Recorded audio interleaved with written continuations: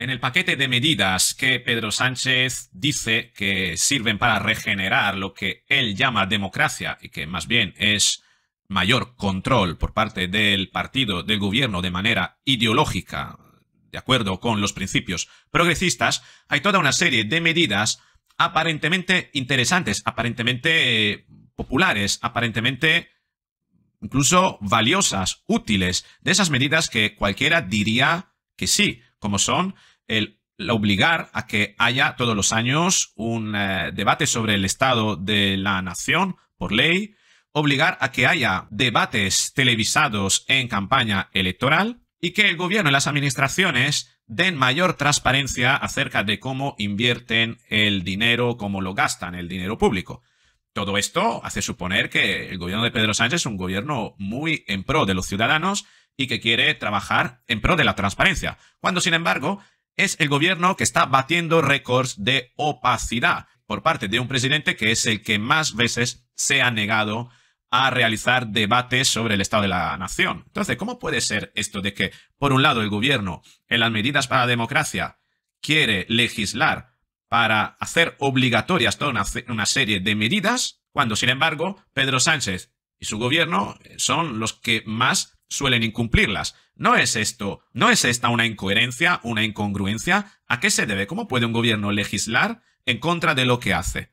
Quédate conmigo en este vídeo porque te hablaré de una estrategia, que es una estrategia de manipulación, que precisamente el gobierno y Pedro Sánchez van a estar aplicando en este caso para legislar de una manera, haciéndote creer que las cosas son de una manera, mientras por el otro, detrás de la tienda, detrás de la fachada, hacen lo que les da la gana. Muy sencillo. Pero no deja de ser una estrategia que tiene una trastienda de manipulación psicológica que es bueno que comprendas, porque quién sabe, en tu entorno, a nivel laboral, en la pareja, en las relaciones interpersonales, tal vez alguien esté utilizando estrategias similares y no te estás dando cuenta. Tal vez aquí, en este vídeo, puedas aprender algo que te va a resultar muy útil. Venga, vamos con el vídeo.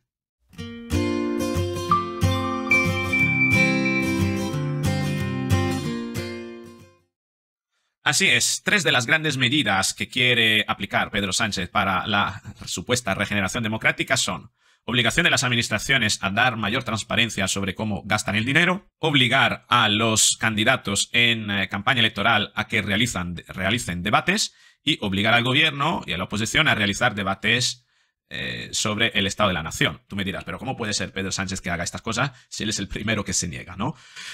Fíjate, esto dice The Objective, lo tenemos aquí. Sánchez plantea medidas de transparencia mientras su gobierno bate récords de opacidad. El primer trimestre de 2024, los ministerios denegaron 96 peticiones de información a través del portal de transparencia.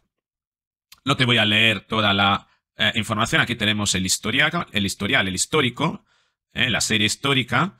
Está bien, es cierto que cada vez más se realizan consultas, cada vez más hay más medios de, de información, incluso youtubers, etcétera y cada vez hay más opacidad. Y como cada vez hay más opacidad, fíjate cómo desde que está Pedro Sánchez, 2001, 2, 3, 4, 5, 6 años, fíjate que a partir de la pandemia todo se ha disparado, ¿no?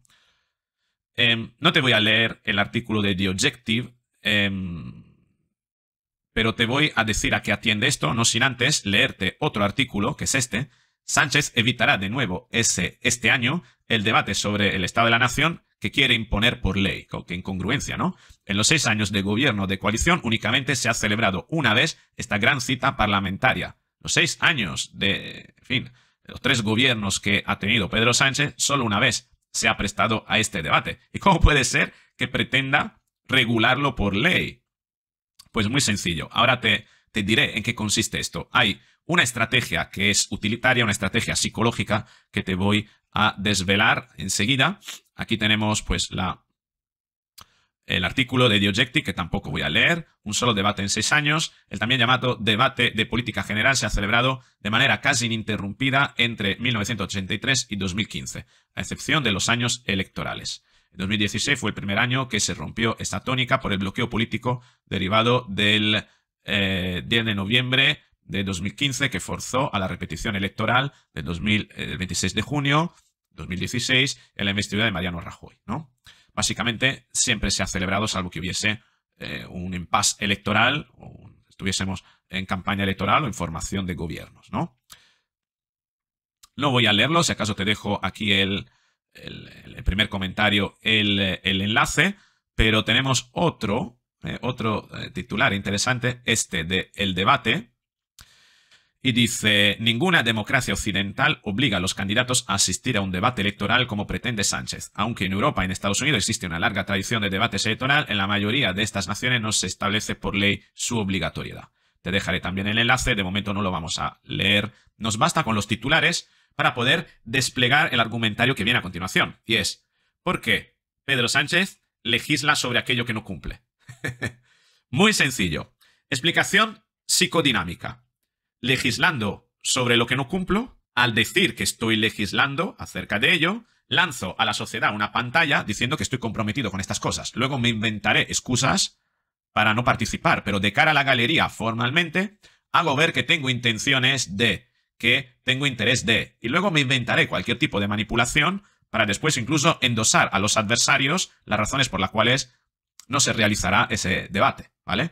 Entonces, es una forma de decir a través de la legislación, por tanto, a través del lenguaje legislativo, que el gobierno está a favor de determinadas cuestiones. Por tanto, lanzar un mensaje de propaganda a la sociedad de pantalla, mensaje que luego, en la sustancia, después, cuando esto será ley, se encargará el gobierno de valorar, en fin, eh, cómo salir del paso. Pero mientras tanto, podrá decir ante cualquier debate, ante cualquier objeción, podrá siempre esgrimir el argumento. Si nosotros hemos sido los primeros que, si nosotros fuimos lo que legislamos, ¿para qué?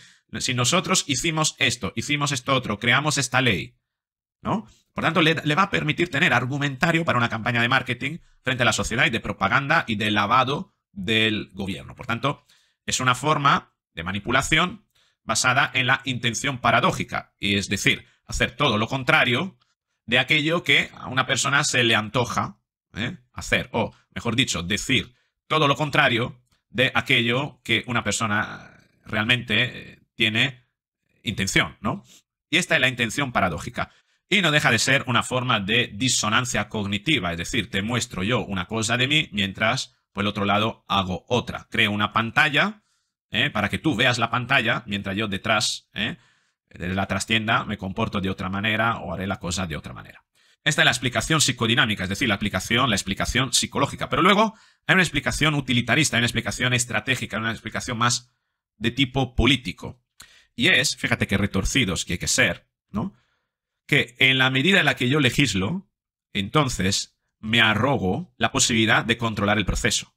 Es decir, al legislar sobre algo que yo no estoy haciendo, al menos puedo controlar la manera con la cual se vaya a hacer eso sobre lo que voy a legislar, de manera que a mí me beneficie de acuerdo con mis intereses y mis circunstancias. Es decir, que podrá legislar y después poner a lo mejor una coletilla diciendo el debate sobre el Estado de la Nación, en todo caso, no será necesario o se podrá evitar de acuerdo con esas circunstancias.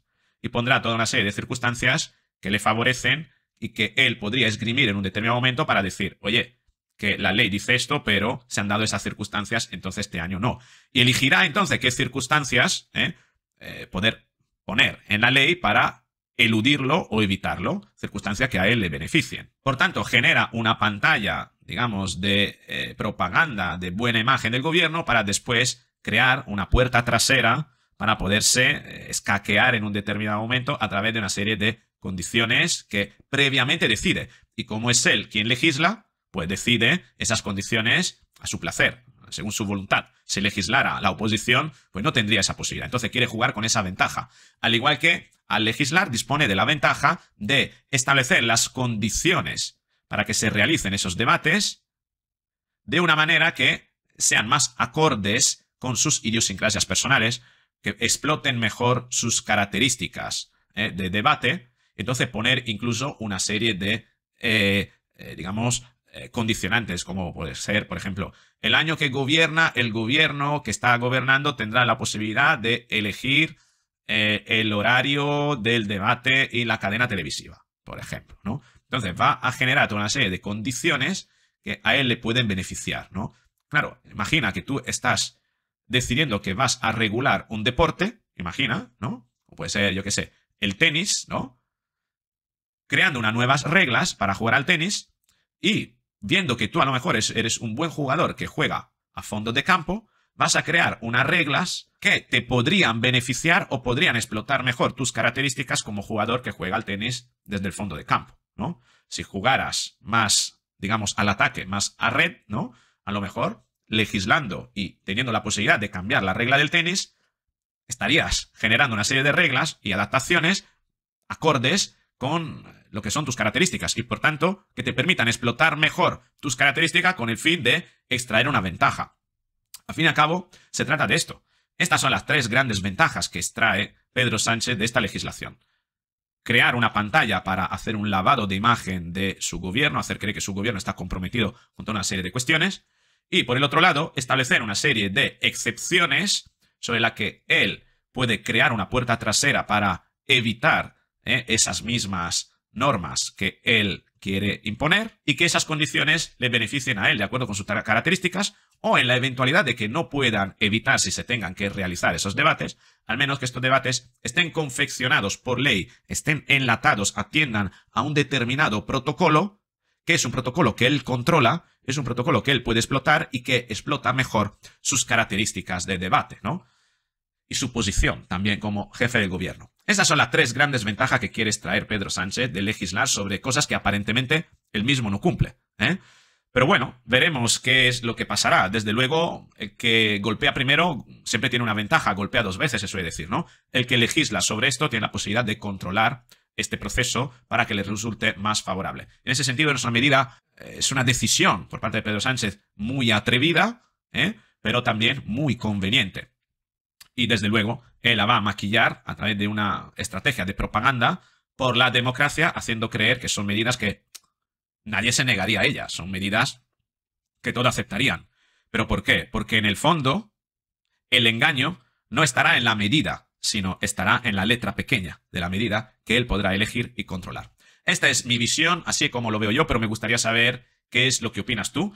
¿Te habías fijado en esta eventualidad? ¿Creías que Pedro Sánchez estaba traicionándose a sí mismo una vez más? ¿Veías gato encerrado con respecto a esta medida? No se te olvide, Siempre que este tipo de personas, personas con esta personalidad como la de Pedro Sánchez, hacen algo y te lo venden como algo positivo, es porque ellos acaban extrayendo más ventajas de aquello que están promocionando que tú mismo. Por mucho que a ti a la postre te pudiera parecer incluso beneficioso, no te quepa la menor duda. Te estarás comiendo una migaja de todo lo que es el pastel. Con esto es todo. Si te ha gustado este vídeo, te invito a darle a me gusta, compártelo, suscríbete, activa la campanita y nos veremos en un próximo vídeo.